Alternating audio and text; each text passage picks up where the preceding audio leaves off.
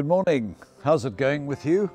Today's uh, Wednesday, the 27th. This was the day my daughter Ashley should have been graduating at the Harvard Business School, but that's not happening.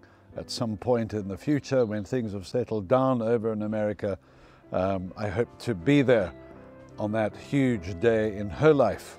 What a day that will be.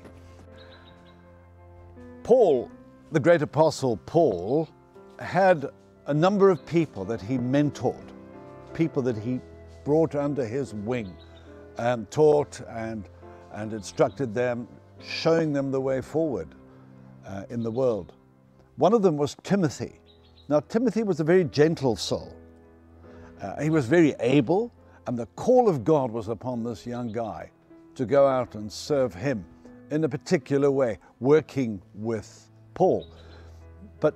Timothy was young and he was very nervous about it.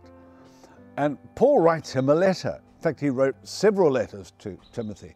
But in the second letter that Paul wrote to Timothy, he tells him, Timothy, I remind you to fan into flame the gift of God that was given to you by me when I laid hands on you. That spirit is not the spirit of fear or timidity, but the spirit of power, of love, and of self discipline or self mastery. Now, this fits into our theme of God the Holy Spirit as God's empowering presence. Timothy didn't feel up to it. He was genuinely anxious. I guess there are many situations in our lives when we feel anxious about something, intimidated, and we back off because basically we're afraid. We're afraid of failure, we're afraid of a number of things.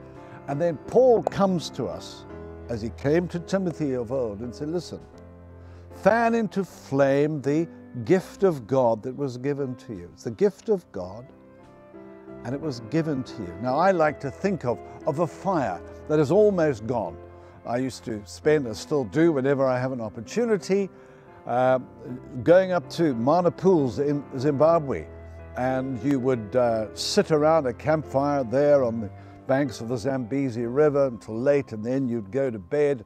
You might get up early and hear the hippos uh, honking in the, in, the, in the Zambezi. You go over to the fire just to see how it was doing, and to all intents and purposes, the fire was dead.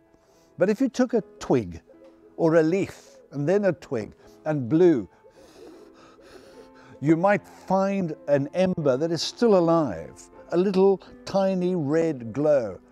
And the ember would light the leaf and you'd put another leaf and then another one and then you'd put a, a little little um, branch.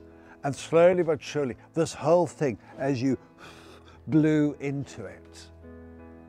And keep that in mind as God says just blow into that fire or rather let me blow into that fire that at times seems very weak and very feeble and very inadequate for some of the challenges that we face in life.